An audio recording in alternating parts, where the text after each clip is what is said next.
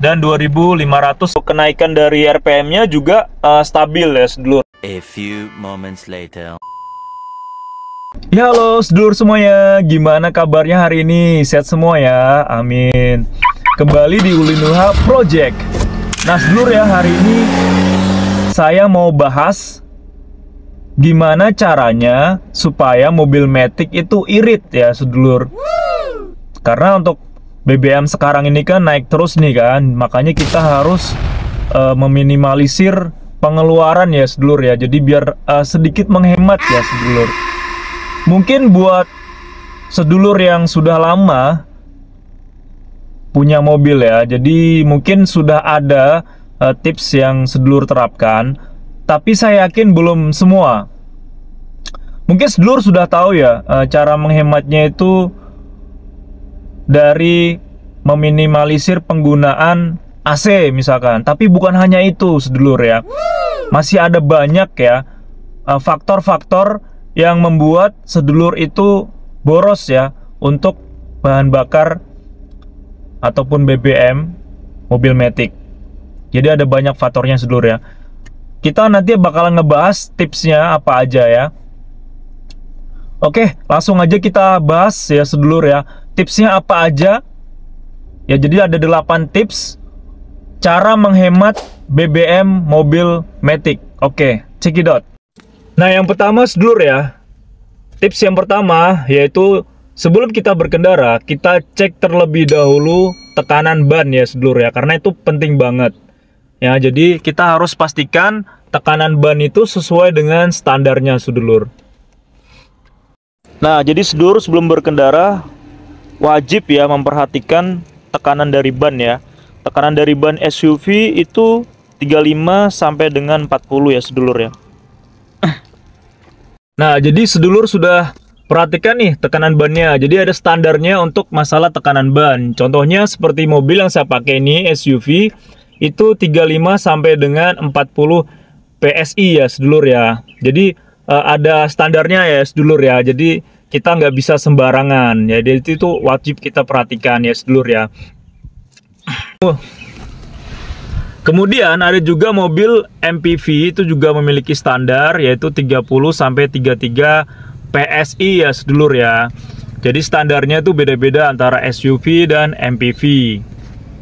Dan kemudian untuk sedan itu 29 sampai 32 PSI.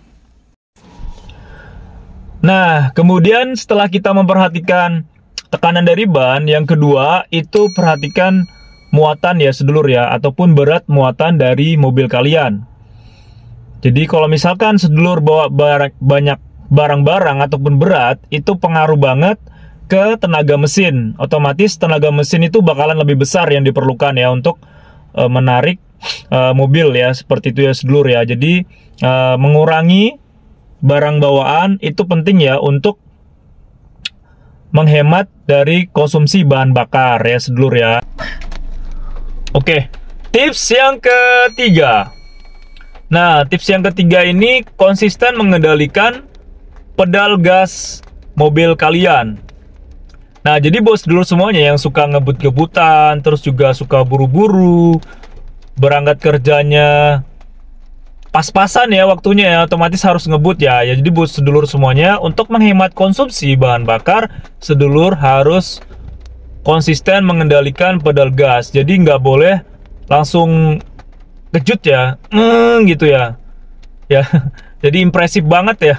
Jadi harus pelan pelan pelan naik naik kayak gitu ya. Jadi kalau ngebut itu nggak masalah ya sedulur ya. Nggak terlalu berpengaruh ke uh, konsumsi bahan bakar asalkan bisa dikontrol ya untuk ini ya pedal gasnya. Jadi naik pelan-pelan seperti sedulur ya. Nah ini nah contohnya ya sedulur ya. Jadi sedulur bisa pelan-pelan pelan injaknya ya sedulur ya.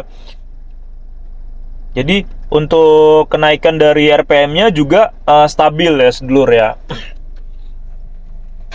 Kayak gitu sedulur ya. Jadi pedal gas itu dan rem atau brake itu juga berpengaruh ke konsumsi bahan bakar. Makanya kita harus mengontrol uh, ataupun konsisten untuk mengendalikan pedal gas dan juga rem. Itu sedulur ya. Selanjutnya, yang keempat. Nah, yang keempat ini gimana caranya kita menghemat konsumsi bahan bakar? Tipsnya apa nih yang keempat? Yaitu mengendalikan putaran mesin dari mobil kalian. Jadi kita harus perhatikan putaran mesin dari mobil kita. Ngelihatnya dari mana nih? Gak mungkin kan kita nyetir sambil buka mesin ke mesin itu kan gak mungkin kan? Makanya kita perhatikan dari RPM mobil. Nah, seperti ini seluruh ya. Nah, standarnya untuk menghemat konsumsi bahan bakar kita minimal itu 2000 ya RPM-nya seluruh ya 2000 dan 2500 ya untuk menghemat konsumsi bahan bakar. Nah, itu uh, standar banget ya buat seluruh ya. Jadi perhatikan di situ ya 2000 sampai 2500. Nanti turun lagi 2000 2500. Kayak gitu ya seluruh ya. Jadi gampang banget jadi kita nggak perlu harus buka cup ya buat seluruh yang masih pemula. Kita perhatikan di RPM-nya aja kayak gitu.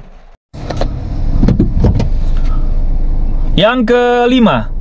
Nah, jadi buat seluruh semuanya, untuk yang kelima ini adalah tipsnya pada saat mobil berhenti ya di lampu merah, ya jadi berhentinya satu menit itu kita posisikan persneling itu netral aja ya sedulur ya. Jadi seperti ini nih, kita posisikan netral aja. Injak rem kemudian netral. Nah seperti ini. Nah kenapa kita posisikan netral?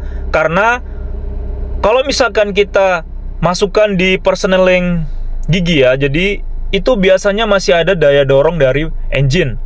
Otomatis ketika engine itu ada daya dorong otomatis juga bahan bakar itu bakalan tersedot ya sedulur ya. Jadi masih ada proses pembakaran kayak gitu ya. Jadi sebaiknya netral aja. Dengan netral otomatis juga daya dorongnya itu nggak ada ya sedulur ya.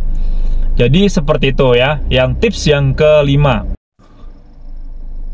kemudian tips yang keenam jadi tips yang keenam ini sedulur sebaiknya jika berhenti lama sedulur matikan aja ya untuk engine ataupun mesinnya karena ini juga eh, menghambat ya konsumsi bahan bakar ya. Jadi sedulur sudah ngelakuin nih tip 1 sampai dengan tip 5 tapi sedulur itu berhentinya lama betul kan nunggu orang ya percuma. Jadi sedulur bisa menghemat dengan mematikan mesin ya pada saat berhenti lama. Ya kayak gitu ya sedulur ya. Tips yang ke-7 Jadi untuk tips yang ke-7 ini sedulur ya Jadi buat sedulur yang uh, suka berpergian ya Ataupun kerja pakai mobil Mau menghemat nih Jadi bisa pakai tips yang ketujuh yaitu engine brake ya. Jadi engine brake ini maksudnya buat sedulur ya. Pada saat perjalanan, pada saat perjalanan ya sedulur ya, sedulur pakai D4 ya. Nah seperti ini. Nah sedulur di depan ada mobil sedulur bisa turunkan ke D3 ya sedulur ini bakalan mengurangi kecepatan dari mesin ya jadi otomatis tidak perlu pakai rem mesin itu bakalan mengurangi kecepatan dari mesin ya otomatis juga untuk remnya itu lebih awet kayak gitu ya otomatis juga pada saat kita nggak ngerem, bahan bakar juga bakalan berkurang. Nah, seperti itu, uh, seperti itu ya sedulur ya. Oke, selanjutnya yang ke-8. Eh, ke-8. Nah, yang ke-8 ini sedulur ya, pasti semuanya udah tahu nih ya, yang paling krusial, yang paling habisin banyak konsumsi bahan bakar. Yaitu apa? Teneng air conditioner ya. Jadi AC ini yang paling banyak menghabiskan konsumsi bahan bakar ya karena pada saat AC ini dinyalakan otomatis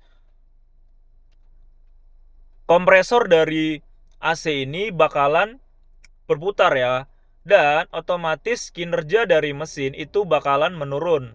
Jadi lebih berat lagi nih putaran dari mesin ya karena terpakai nih untuk fumble-nya berputar dengan e, kompresornya seperti itu ya dan ini yang paling banyak mengurangi konsumsi bahan bakar kayak gitu jadi kalau misalkan sedulur mau menghemat ya kondisikan aja ya untuk uh, pemakaian AC-nya ya. Jadi sedulur bisa uh, matikan AC kayak gitu kan kalau misalkan kondisi tidak terlalu panas sedulur seperti itu. Ini bakalan mengurangi uh, sedulur untuk konsumsi bahan bakar. Pasti lebih hemat kayak gitu sedulur.